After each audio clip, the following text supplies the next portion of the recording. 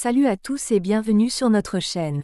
Aujourd'hui, on se retrouve pour un résumé détaillé et captivant de l'épisode 1765 de Demain nous appartient qui sera diffusé le vendredi 6 septembre 2024 sur TF1.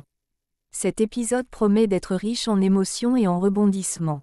On va parler de deux tueurs en série qui prennent Soraya et Raphaël en otage, du dénouement de l'affaire Alban, où Octave est finalement innocenté grâce à Mathias, et bien sûr, du drame personnel que traverse William avec la réception des papiers du divorce. On abordera aussi les moments touchants entre Timothée et Barr, et les tensions qui montent entre Manon et Nordine. Installez-vous confortablement, et c'est parti pour un décryptage complet de cet épisode intense. Dans un prochain épisode de Demain nous appartient, le personnage d'Octave se trouve finalement innocenté, et c'est grâce à l'intervention de Mathias que la vérité sur la mort d'Alban est enfin révélée. L'histoire débute avec l'enterrement d'Alban, un moment émouvant où ses proches se sont rassemblés pour lui rendre un dernier hommage. Après la cérémonie, tous les participants, encore sous le choc de la perte, se dirigent vers l'hôtel où ils séjournent pour essayer de trouver un peu de répit. À leur arrivée à l'hôtel, ils sont surpris de voir Martin, un personnage central de la série, qui les attend accompagné d'un autre policier. L'atmosphère devient immédiatement tendue lorsqu'il annonce qu'il doit interroger Octave, laissant entendre qu'il y a de nouveaux développements importants dans l'enquête concernant la mort d'Alban. Cette scène suscite l'inquiétude parmi les proches, qui se demandent ce que Martin a découvert. Par ailleurs, Raphaël, qui a tenu à assister à l'enterrement pour soutenir son amie Chloé dans ce moment difficile, a elle aussi une connexion particulière avec Alban. En effet, Raphaël connaissait bien Alban, car elle avait été chargée de gérer la succession de cette dernière, ce qui l'avait amené à se plonger dans les détails de sa vie et de ses affaires. Son soutien à Chloé est donc d'autant plus fort, car elle a non seulement perdu une connaissance, mais elle est également profondément impliquée dans les conséquences légales et personnelles de cette tragédie. Ce moment marque un tournant dans l'intrigue, car la vérité sur la mort d'Alban commence enfin à émerger. Promettant des révélations et des bouleversements à venir pour tous les personnages impliqués. Octave prend la parole pour expliquer ce qui s'est passé ce jour-là. Il commence par raconter qu'il a eu une discussion difficile avec Michael, qu'il a mis dans un état de grande tension. Suite à cette conversation, il a retrouvé Alban, et une dispute a éclaté entre eux. Octave décrit cette dispute comme étant très animée, où les émotions étaient à fleur de peau. Il admet qu'à un moment, dans un élan de colère, il a essayé de retenir Alban, peut-être pour l'empêcher de partir ou pour continuer la discussion. Cependant, il insiste fortement sur le fait que, malgré cette altercation, il n'a rien fait de mal. Selon lui, il s'agissait simplement d'une dispute houleuse, mais qui n'a pas dégénéré en violence physique. Après avoir entendu les explications d'Octave, Sarah et Martin, les enquêteurs chargés de l'affaire, se montrent sceptiques. Ils analysent la situation avec soin, pesant chaque mot d'octave. Bien qu'ils aient des doutes et que leur intuition leur dise qu'il y a peut-être quelque chose de plus sombre derrière cette histoire, ils n'ont pour l'instant aucune preuve tangible qui pourrait relier Octave à la mort d'Alban de manière définitive. Ils n'observent aucun signe clair qu'il ait pu tuer sa mère, du moins pas à ce stade de l'enquête. En l'absence de preuves concrètes, ils décident de le laisser repartir chez lui, mais ils restent sur leur garde. Sarah et Martin savent bien que leur intuition pourrait se confirmer plus tard, et ils gardent l'esprit ouvert à la possibilité que de nouveaux éléments viennent faire surface. Pour l'instant, Octave est libre, mais l'enquête est loin d'être terminée, et tous les détails seront réexaminés pour s'assurer qu'aucune piste n'est négligée. Roxane a découvert un détail crucial dans l'enquête, un profil gay appartenant à Stéphane Miller. En poursuivant ses recherches, elle apprend que Stéphane et Mathias Fréchon se sont rencontrés il y a environ quatre mois. Ce qui éclaire d'un jour nouveau les événements récents. En creusant davantage, il apparaît que l'alibi de Mathias, censé le disculper, ne tient plus face aux nouvelles informations. Roxane et l'équipe découvrent que Stéphane et Mathias étaient en réalité en couple, et ils cherchaient tous deux un moyen de secouer les ferrets pour passer à autre chose dans leur vie.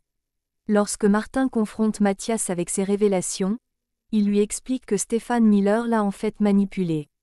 Martin souligne que la mort d'Alban n'était pas préméditée, mais plutôt un tragique accident survenu dans le cadre de ce plan mal conçu. En conséquence, Mathias va devoir répondre de ses actes en justice et sera poursuivi pour homicide. Cette avancée dans l'enquête confirme enfin qu'Octave est innocenté de toute implication dans la mort d'Alban, dissipant ainsi les suspicions qui pesaient sur lui. L'enquête a permis de révéler les véritables responsables et de rendre justice. Bien que tragiquement, à la victime. Samuel a pris la décision difficile de ne pas assister à l'enterrement d'Alban. Il craignait que sa présence ne suscite un scandale et ne complique davantage la situation, notamment pour les enfants, qui sont déjà bouleversés par cette tragédie. En prenant du recul, Samuel a préféré éviter d'ajouter du stress ou de la tension lors de la cérémonie. Cependant, il a l'intention de se recueillir sur la tombe d'Alban, mais seulement lorsqu'il sera sûr d'être seul, afin de rendre hommage discrètement et sans attirer l'attention. Pendant ce temps, Soraya et Raphaël sont en pleine réunion avec un client, discutant d'une affaire de vol organisé. C'est alors que la situation prend une tournure dramatique, Sacha Girard et Benoît Letellier, deux détenus, décident de passer à l'action. Ils prennent en otage un gardien ainsi que Soraya et Raphaël, transformant le parloir en une scène de tension extrême. Leur objectif est clair, s'évader de la prison.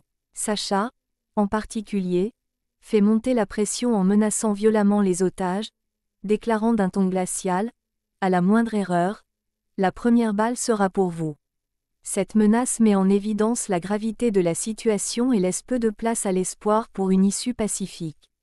Les Ferrets se sont réunis pour se remémorer les meilleurs moments qu'ils ont partagés avec Alban. Ces souvenirs, évoqués avec tendresse et nostalgie, apportent un certain réconfort à chacun d'eux. Le fait de parler d'Alban en présence de Chloé, Alex et Diego crée un moment de communion et de soutien mutuel, apaisant un peu la douleur de leur perte. Pendant ce temps, Aurore prend une décision importante pour sa vie personnelle. Elle décide de demander officiellement le divorce, marquant ainsi un tournant dans sa relation. Cette décision n'est pas prise à la légère, mais elle semble nécessaire pour avancer. De son côté, Samuel a une conversation avec William où il tente de le motiver à ne pas renoncer à l'amour de sa vie. Samuel lui dit qu'il a encore une chance de sauver sa relation et se demande ce que William attend pour agir. Ces mots résonnent profondément, incitant William à réfléchir sérieusement à sa situation. Au commissariat, Manon et Nordine se croisent dans la salle de pause. Nordine est en train de se changer et prend soin de se parfumer, prêtant attention à son apparence. Manon, qui le remarque, en profite pour lui dire combien elle a apprécié leur moment passé ensemble sur la plage. Elle exprime son désir de revivre cette expérience en lui suggérant qu'ils y retournent, laissant entrevoir un rapprochement possible entre eux. Nordine prend soin de lui en se pomponnant avec du parfum, se préparant visiblement pour une sortie.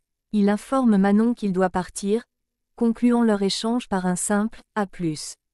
Peu de temps après, Nordine se dirige vers le Spoon, où il rejoint Nord pour partager un verre. Plus tard, Manon confie à William que Nordine l'a laissé en plan, ce qu'elle interprète comme un signe qu'il avait un autre rendez-vous en tête. Elle remarque qu'il avait pris le temps de se parfumer, ce qui l'amène à penser qu'il avait probablement prévu de voir une autre fille. Dans un autre contexte, William vit un moment difficile lorsqu'il reçoit les papiers du divorce. Cette nouvelle, bien que probablement attendue, le bouleverse profondément et marque un tournant dramatique dans sa vie. Pendant ce temps, Timothée emménage chez Bar, et leur cohabitation commence avec quelques ajustements. Bar, cherchant à être accueillant, lui propose un café. Cependant, Timothée décline l'offre en expliquant que le café lui provoque des palpitations, une réponse qui montre sa sensibilité particulière. De plus, Timothée arrive avec ses propres assiettes, car il ne supporte pas l'idée de manger dans la vaisselle des autres. Comprenant son besoin, Bar décide de lui aménager un placard dédié pour qu'il puisse ranger sa propre vaisselle, respectant ainsi ses habitudes et ses préférences. Cette attention de Bar démontre son désir de rendre la cohabitation agréable pour Timothée, malgré les petites particularités de ce dernier. Bar se prépare à passer la soirée à garder Enora, et Sarah ainsi que Roxane ne manquent pas de plaisanter sur la situation, imaginant que cette soirée pourrait bien tourner en un véritable bizutage pour Bar, étant donné les défis que cela représente. Pendant ce temps, Victor, inquiet pour son fils, décide de lui rendre visite à la colloque où Timothée vit désormais. Il utilise un prétexte plutôt banal pour justifier sa visite, prétendant avoir besoin d'un chargeur. Lors de leur échange, Timothée exprime ses sentiments conflictuels, bien qu'il continue d'aimer son père, il ne peut cacher sa déception face à certains de ses comportements récents. Cette franchise touche Victor, qui avoue à son fils que la maison est bien vide et triste sans lui. Les paroles de Victor révèlent à quel point il est affecté par l'absence de Timothée, soulignant le lien fort qui les unit malgré les tensions actuelles. Et voilà, c'est tout pour le résumé de l'épisode 1765 de Demain nous appartient. On espère que cette analyse vous a plu et vous a donné un bon aperçu des intrigues à venir. N'oubliez pas de laisser un pouce bleu si vous avez apprécié la vidéo et de vous abonner à la chaîne pour ne rien manquer des prochains résumés et spoilers. Activez aussi la cloche de notification pour être averti dès qu'une nouvelle vidéo est en ligne. Merci d'avoir regardé, et dites-nous en commentaire ce que vous pensez des événements de cet épisode. À très bientôt pour de nouvelles aventures dans Demain nous appartient.